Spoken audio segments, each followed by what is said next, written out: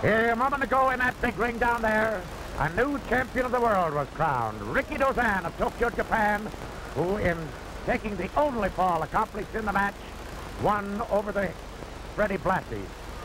The audience here, a tremendous crowd, stood up, gave the man a standing ovation, a roar, the kind of which he probably won't hear again for a long, long time. Probably the biggest cheer he ever heard in America. But up for Rikidozan, who tonight took to crown the belt, the title from the former heavyweight champion, Freddie Blassie. The new champion of the world, Ricky Dozan. That's the way it went here tonight.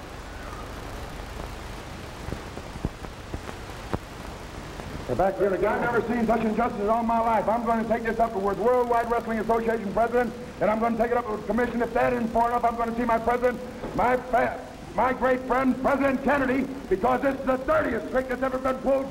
They signed me up for two out of three four new. It's supposed to be a two-hour time limit, not a 30-minute time limit. Don't you tell those people they're two heavyweight champions. Freddie the Blassie is still a world heavyweight champion. Good night, And don't you forget that.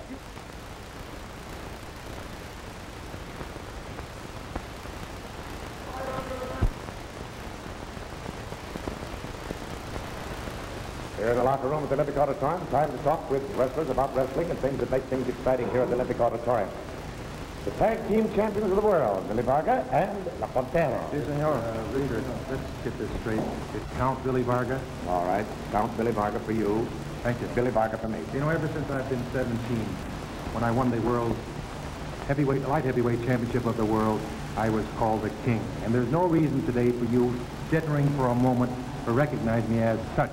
As you saw, there is no wrestler that compares with me. And now with the combination of Mr. Pontera here, we are going to defend our World Tag Team Championship here next Wednesday. You notice I'm trying to keep myself under control because uh, just recently with you I came out and I was a little bit vociferous.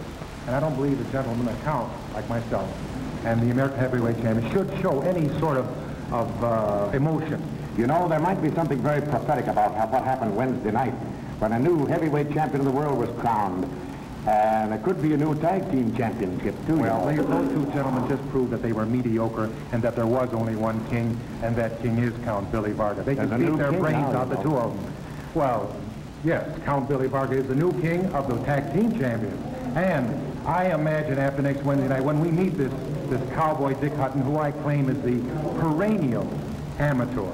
I mean, he held the world heavyweight championship, yes, but as I said before, and I will say again, he met only mediocre wrestlers. He's never met a wrestler like Count Billy Varga, a man who is so far, whose name is in Valhalla, and no other wrestler's name is there, and ever will be. Uh, I mean, a man of my stature, when you meet a man like this, it's, it's sure death. And of course, I have an opponent, or rather, I should say, an, a partner. And by the way, let's not misunderstand this gentleman here. Although he doesn't speak English, he's no lackey. He doesn't have a noble title like myself, but he's no lackey. And as a wrestler, he is par none in a tag team partnership. Would you like to say a few Bueno, words?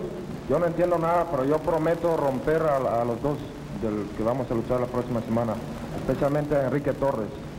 Yo prometo dejarlo inútil. Let me let me uh, distinguish this for the American-speaking people. He's just trying to say that he is not only going to beat the two men, but he is specifically going to beat Torres because he wants to prove that he is the Latin Uh, the champion. Well, Wednesday night at 7.30, when you gentlemen walk into the ring for your match, or to defend your title, you're going to find two wrestlers in the ring against you. Well, I'm Dick gonna- Hutton and Ricky Torres. I'm going to tell you something. You saw that match just there, just now. I mean, I mean ah. Wednesday night, that bloody match. That's just going to be the lull before the storm because this is going to be bloodier. All right. Uh. Be